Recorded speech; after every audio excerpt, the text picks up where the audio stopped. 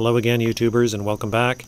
I'm very excited to present this series of videos to you because finally, after we've spent all this time talking about conservation of mass and conservation of momentum, and we've obtained the Navier-Stokes equations, finally we can talk about how to solve these or apply these equations to solve real problems uh, involving Newtonian fluid flow. And what I want to emphasize throughout this uh, series is the procedure. Because if you recall, the Navier-Stokes equations are a complicated uh, system of nonlinear coupled partial differential equations. And in general, it's not easy to obtain solutions uh, to this system of equations, especially analytically.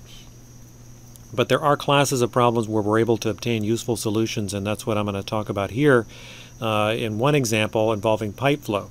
But what I really want you to notice is that the procedure that we're going to apply to solve these problems can be applied to any uh, problem uh, involving solving the Navier-Stokes equations. And if you stick with my procedure, uh, I guarantee you that you're going to be able to at least solve the fluid mechanics part of the problem. You'll be able to reduce the Navier-Stokes equations down to a uh, simpler system of differential equations that you'll be able to solve uh, in combination with the appropriate boundary or initial conditions. So if you follow my procedure, it's foolproof. You'll be able to, to reach, at least obtain uh, the appropriate mathematical form. And, th and then after that, it becomes a math problem. It becomes a differential equations problem, and that's a different, uh, different topic. Okay, so to get started, I want to show you uh, step one uh, of this procedure, and that is to choose a coordinate system for the problem. And in order to do that, you can ask yourself two questions. Uh, one question is what direction is the flow? So what direction is the fluid moving in? And the other important question to ask is in what direction does the velocity change? So remember our simple shear flow, right? The flow was horizontal between parallel plates, but the velocity was changing in the vertical direction, uh, you know, perpendicular to the plate. So the flow direction and the direction in which the velocity changing uh, in general may not be uh, in the same direction. So they're two different quantities to think about. But both of those directions are important uh, in how we set up the problem. The second thing to ask yourself is to determine what is the driving force for the flow. So in the kinds of problems that we're going to be considering here, there's three main driving forces. Pressure is probably the main driving force, pressure-driven flow. So for example, in a pipe, uh, you have a pressure difference between the inlet and the outlet. Uh, so that's an example of pressure-driven flow. Shear-driven flow is the example that I just talked about before that I showed you when we talked about Newton's law of viscosity, where the flow is driven by sliding or relative motion between uh, different surfaces uh, in which the fluid is in contact. And gravity can also be a driving force. You can also have gravity-driven flows, for example, uh, thin film of fluid uh, flowing down an inclined plane is an example uh, of a gravity-driven flow. Okay, so we've chosen the coordinate system. We've determined what the driving force is. The next step is to determine the boundary conditions associated with the flow. And so by boundaries, I mean pretty much boundaries in which the fluid is in contact. Uh, can we say something about what the state of the fluid is at certain known locations in the problem. So the no-slip condition, for example, that we talked about again uh, in Newton's law of viscosity, that's an example of a boundary condition. We know that the velocity at a boundary, of the fluid in contact with the boundary, is equal to the boundary, at least that's an assumption that we make. Uh, and there's other boundary conditions uh, that we'll be able to apply, it, and we'll talk about some of those as we go through some of these examples. Step four is to make some kind of guess about what the solution should look like. So we have some intuition uh, based on uh, these previous three questions. What will the flow look like? So for example, again, flow between parallel plates. Uh, we expect the velocity to go from zero at the stationary plate to the boundary velocity at the plate that's moving. So we know that there's going to be some variation from zero to some non-zero velocity, and we can expect based on experience what that may look like. And, and this is where kind of, you know, after you work more and more problems, you sort of are able to predict based on your past knowledge and past experience what uh, what these solutions should look like. So this is kind of difficult to do at first, but but once you once you work a few problems uh, and get those under your belt, you should be able to uh, to to build your intuition, uh, your engineering intuition, and and make an educated guess. And that's important because then you can determine if your solution uh, that you obtain uh, is realistic.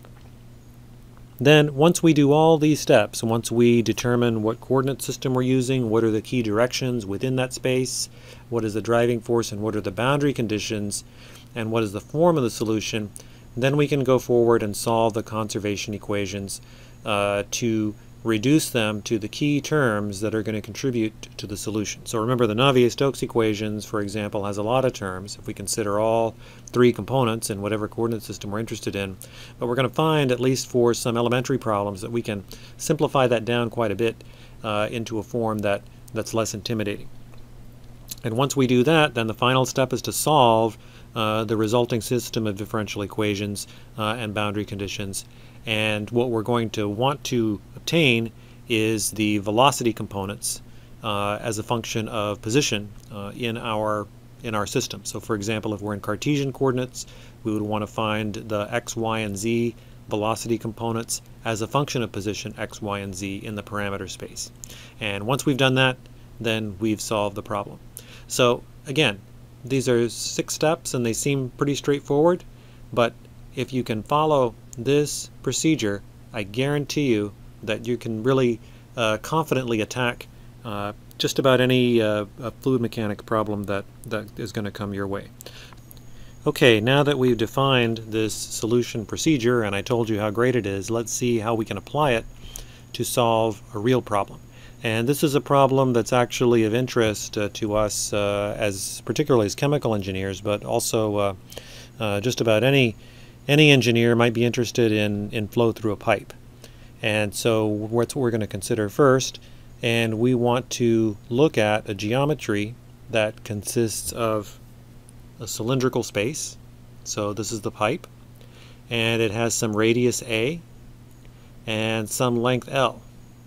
And there's fluid flowing through this pipe. We can say from left to right. And we want to find what is the velocity distribution uh, inside the pipe as a function of position. Okay, so let's then work through our procedure that I showed you on the previous slide. And remember the first step was to choose a coordinate system. So we ask ourselves what direction is the flow direction and what direction is it varying in. So since this pipe has a cylindrical shape, I think it's pretty clear that this symmetry would suggest that cylindrical coordinates may be a good choice for the problem. And we're going to see this more clearly as we work through this, but the reason to choose uh, cylindrical coordinates instead of Cartesian coordinates is because we'll be able to simplify the problem into uh, basically one variable. So we could choose Cartesian coordinates, x and y, but then we would have x and y components of these equations that we would have to deal with and it would make the solution procedure more complicated. It's not that it couldn't be done, it would just be harder to do it. But if we look for some symmetry in the problem, particularly here we have cylindrical symmetry, then we can use that to our advantage to make the problem easier to solve. So based on this cylindrical coordinate system, we have the z direction going uh, from left to right, so the flow is in the z direction, okay, velocity is in the z direction and then r is perpendicular uh, and theta is the uh, the rotational uh, the angle angular position uh, about the z-axis so we can imagine that uh, if we believe that the flow is in the z direction we can imagine that the flow is probably going to vary in the r direction. Why do we say that? Well we know that we have to have no slip at the walls. So probably the fluid velocity is going to be zero near the walls. And if we have a flow through this pipe, then it's got to be non-zero somewhere, so the velocity is probably going to change from zero at the walls uh, to some non-zero value uh, in the interior of the pipe. And that would correspond to a variation in the r direction.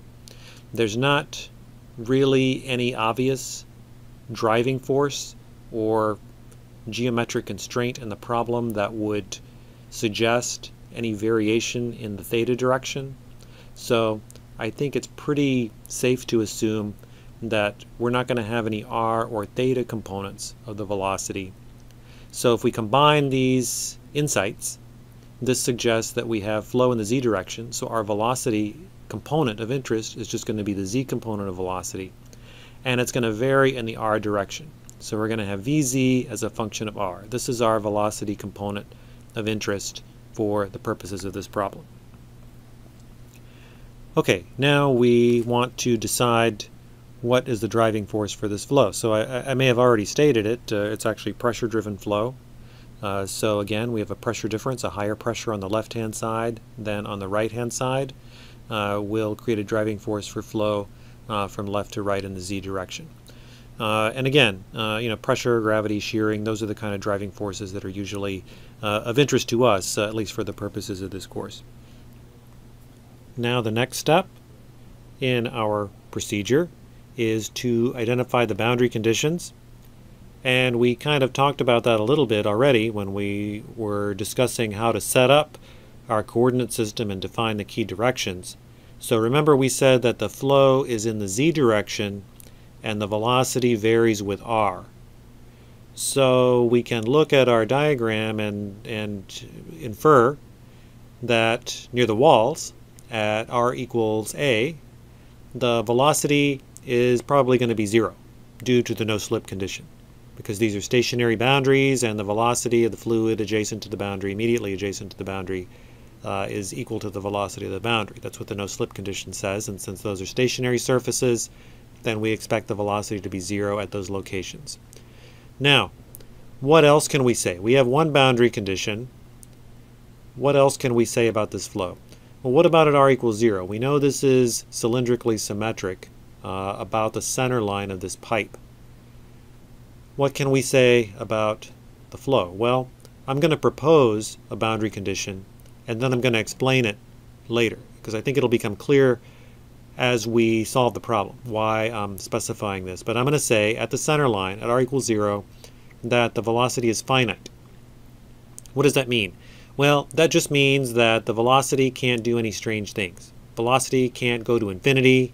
Uh, it can't uh, diverge. Uh, whatever kind of mathematical function we obtain to express the velocity profile as a function of r can't do anything weird at r equals 0.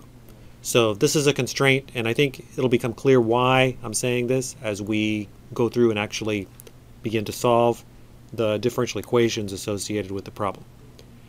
Okay, the next step is to use our intuition and what we've said in steps 1 through 3 to kind of guess what the solution looks like.